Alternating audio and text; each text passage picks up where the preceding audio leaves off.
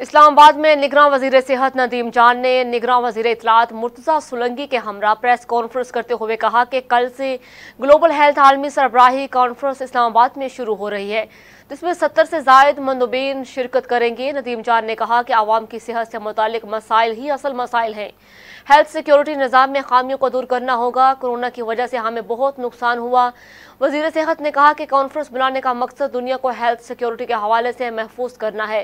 Health का सियासत से कोई ताल्लुक नहीं। हमारे हेल्थ प्लान में बहुत खामियाँ हैं। नदीम जान ने कहा कि वैक्सीन एक्विटी की टेक्नोलॉजी को अपग्रेड करने की ज़रूरत है। हम पाकिस्तान और पूरी दुनिया में सिस्टम की अपग्रेडेशन चाहते हैं। हमने गजा के तराजुर में भी कहा कि सेहत को सियासत से दूर रखना चाहिए।